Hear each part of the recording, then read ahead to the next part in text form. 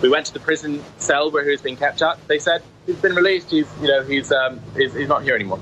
Um, and then we found out that he's been taken to taken to the court.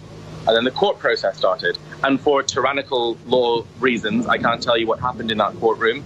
Um, it was I don't know if this is legal or not, but it was it was minutes long. It was three or four minutes long in that courtroom. There was no bail.